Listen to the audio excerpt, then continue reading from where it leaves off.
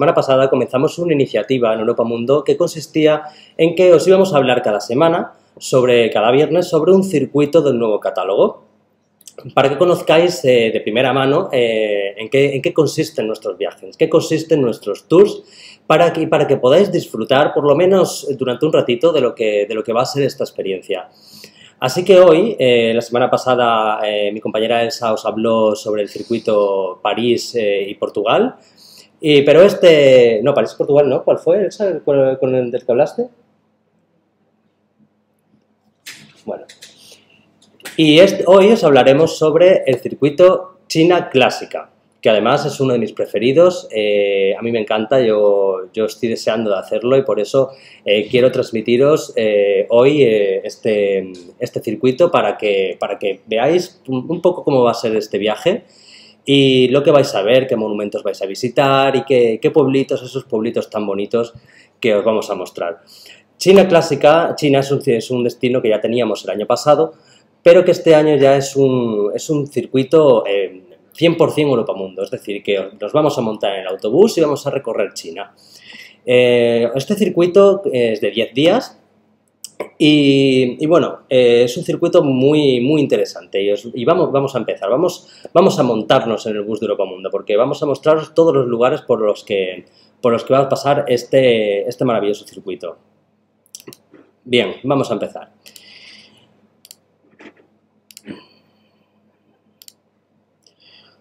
Bien, pues llegamos a Shanghái. Shanghái es, nuestra, es la primera parada de, este circuito de, China clásica. Bueno, pues como sabéis, nos vamos al hotel tranquilamente y empezamos nuestra visita, a, Shanghái. En primer lugar vamos a conocer el área de Pudong, que está situada al, lado del río Wampu. Es un distrito financiero. el sitio más famoso de, este, de, este, de esta ciudad es la torre, de, la torre de la Perla, la cual os voy a mostrar aquí.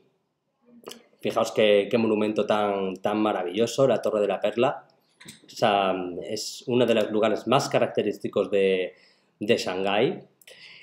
Bien, seguiremos recorriendo las calles de, la ciudad vieja y también veremos eh, un jardín precioso llamado eh, Jardín Yuyuan, que os lo muestro ahora.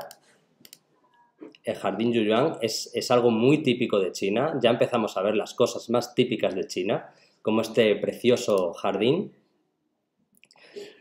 Bien, es un, jardín privado que fue construido durante la dinastía Ming y disfrutaremos también con una, de las cosas más típicas de China, que es la ceremonia del té, que os muestro, os muestro aquí. La ceremonia del té es una tradición eh, milenaria de, China eh, y desempeña un papel cultural importantísimo.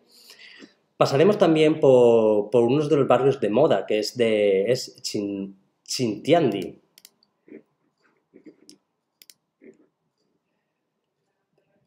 Bien, pues también recorreremos el barrio de Tianzifag, que es una antigua zona residencial ubicada en el área de, la concesión francesa. Es muy conocido porque son calles estrechas, que parece un laberinto. Son, son calles tradicionales chinas, llenas de tiendas, llenas de, artesanía, de, de, galerías de arte. Y bueno, acabamos esta visita en, el malecón de Shanghái, más conocido como, el Bund, que tiene, pues, eh, nos recuerda bastante a, las ciudades europeas, porque tiene una arquitectura, sus edificios tienen una arquitectura muy, muy europeísta.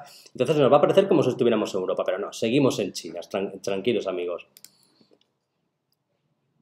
Bien, pues seguimos, seguimos nuestro, nuestro viaje, porque tras desayunar al día siguiente nos trasladaremos a la estación y cogeremos un tren de alta velocidad. Esto es uno de los circuitos que tenemos en los que viajaremos en tren. Y en cuatro horas aproximadamente llegaremos a, la estación de Zhengzhou eh, e iremos a, a Denfeng. Denfeng eh, es un lugar donde visitaremos un templo, Shaolin, eh, que es precioso, ya lo estáis viendo aquí, es una maravilla. Y también asistiremos a, una práctica de Kung Fu, porque en este templo se, realizan clases de Kung Fu, que ya sabes, el Kung Fu es, una práctica muy, muy típica china, pues lo, veremos de primera mano. Bien, pues seguimos, seguimos nuestra visita hacia Luoyang. Luoyang, donde veremos el, precioso templo del caballo blanco, un monasterio, un monasterio budista. Después por la noche nos trasladaremos a, la ciudad vieja de, de Luoyang, esta preciosa, esta preciosa eh, localidad china. iremos a través de su muralla. Podemos disfrutar de un montón de, actividades tradicionales porque es una, es una ciudad muy luminosa, es una ciudad muy luminosa y muy típica china, en la que podremos ver tiendas, también productos de artesanía, podemos comprar nuestros souvenirs para, llevarnos a nuestro país, que siempre, que siempre está muy bien para llevarnos de recuerdo. Y bien, pues eh, después de conocer esta maravillosa, este maravilloso lugar, eh, seguimos hacia otro lugar, otro pueblito de estos que nos encantan. Em, conoceremos las cuevas eh, budistas de Longmen. Longmen Aquí os lo, mostramos. Fijaos qué maravilla de, lugar.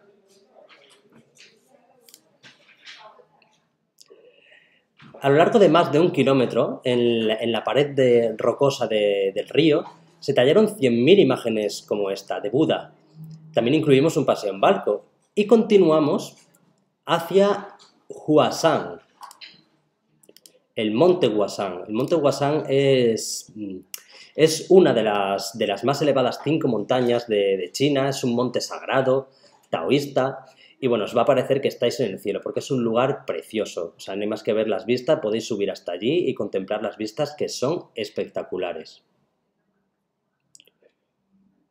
Continuamos hacia Xi'an, otra maravillosa localidad que visitaremos. Bueno, eh, eh, también montaremos en teleférico, se me ha olvidado deciroslo. Fijaos qué vistas tenemos. Pues como os he dicho, continuamos hasta Xi'an. Bien, Xi'an conoceremos uno de los lugares más conocidos de, China, que es el, ejército de terracota. El ejército de terracota que son miles de soldados de arcilla que están tallados a tamaño natural. Estos eh, soldados fueron encontrados eh, bajo tierra. Regresamos a Xi'an.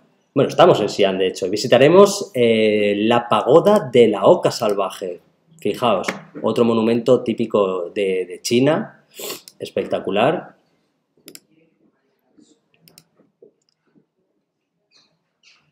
Y aquí tendremos la ocasión de realizar eh, un breve curso de caligrafía china para que, bueno, eh, ya que no sabemos chino, pues por ejemplo, por lo menos podamos saber un poquito de, lo que es la caligrafía china, que no es nada fácil, os lo aseguro que es algo muy, muy complicado. Pues así, ahí os daremos un, pequeño curso de cómo se hace. También daremos un, pequeño paseo por el centro. Y conoceremos la Torre Tambor. Y ahí disfrutaremos de un espectáculo de, instrumentos musicales. Bien, seguimos. Salimos de Xi'an, eh, también nos volvemos a montar en el tren de alta velocidad y llegamos a la mansión del clan Wang, que es una mansión construida entre los siglos XVII y XIX. Comeremos tranquilamente y vamos hasta Pingao, que es una ciudad histórica con más de 4.000 edificios antiguos, patrimonio de la humanidad. Fijaos qué, maravilla de, de lugar. Seguimos, estamos en Pingao. Como os he dicho, es una ciudad histórica con muchos edificios patrimonio de la humanidad, disfrutaremos de, un paseo por esta encantadora ciudad. Y también incluimos eh, entrada a, los templos y mansiones de, esta ciudad.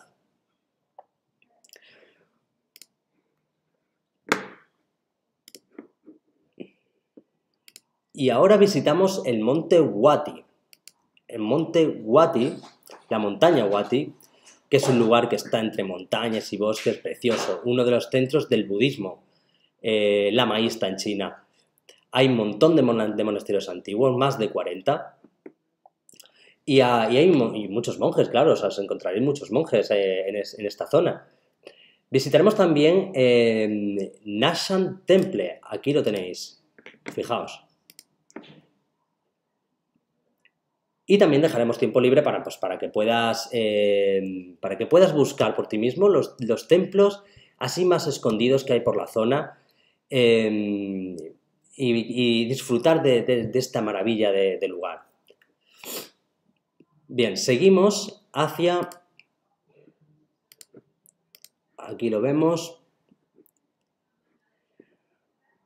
Hacia Yamenwang, donde disfrutaremos de, un trocito de la muralla china. O sea, sabéis que la muralla china tiene miles de kilómetros a lo largo de todo el país, pero aquí en esta zona disfrutaremos de, un trocito de, esta muralla, donde podemos, es una zona con muy poca afluencia, así que podremos caminar tranquilamente por, la zona, ya que es una zona que está con un, con un número limitado de turistas.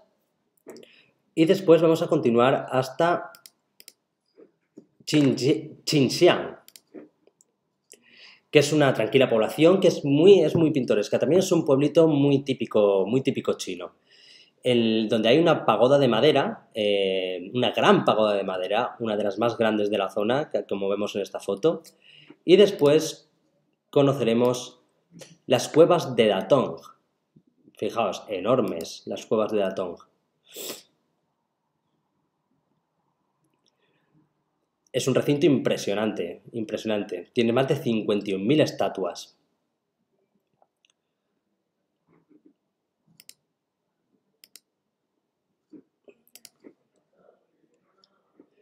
Bien, pues al día siguiente llegamos al templo colgante de Datong. Aquí os lo muestro en la foto. Una construcción increíble, en la pared de un acantilado además. Y continuamos hasta otra localidad llamada Jimmy, Jimmy Post, que es una pequeña población eh, en la que podemos observar el, modo habitual de, vida, de vida china. Sea, es una población muy, muy tranquila, muy apacible, la gente es muy amable, puedes pasear por sus calles, contemplar, eh, pues eso, el modo de vida típico de un, de un pueblito chino. Y llegamos aquí, a Pekín, o Beijing, como, como, como, vosotros queráis. Llegamos a media tarde del día. ¿Y qué vamos a conocer en Pekín? Pues en Pekín conoceremos la ciudad prohibida, que es un patrimonio mundial de, la humanidad. Conoceremos también el Parque Jinshan, aquí podemos verlo.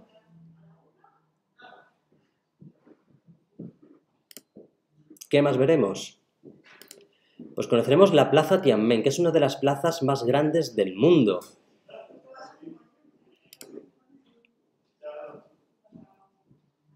en el que se puede ver el Gran Teatro Nacional y el Teatro de la Ópera. Visitaremos también el Palacio de Verano. Aquí lo vemos.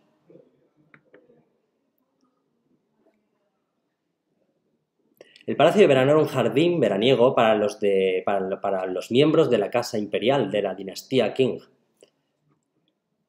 Y también incluimos una excursión muy, muy curiosa, que es un paseo en triciclo un ya sabemos que, podemos ver muchos medios de transporte como este en China, pues os ofreceremos la oportunidad de montar en uno de, estos, triciclos para, que sepáis cómo se desplazan muchos, muchos habitantes de, China.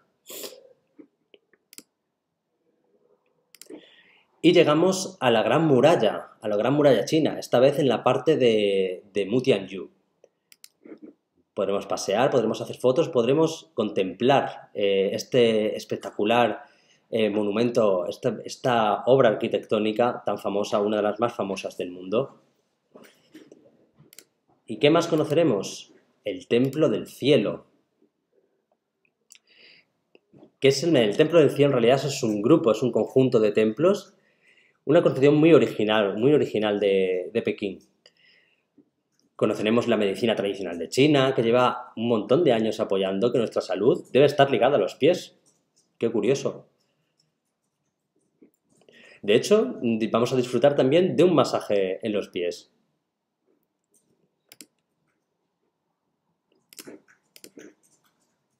Y bueno, nos despedimos de Pekín con una cena de pato laqueado en un lugar maravilloso.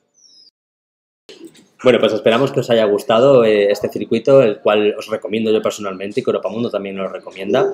Es maravilloso, 10 días en los que vais a disfrutar muchísimo. Y queremos que lo hagáis también para que nos mandéis muchas fotos, que, tenemos muchas ganas de ver nuestros viajeros por China.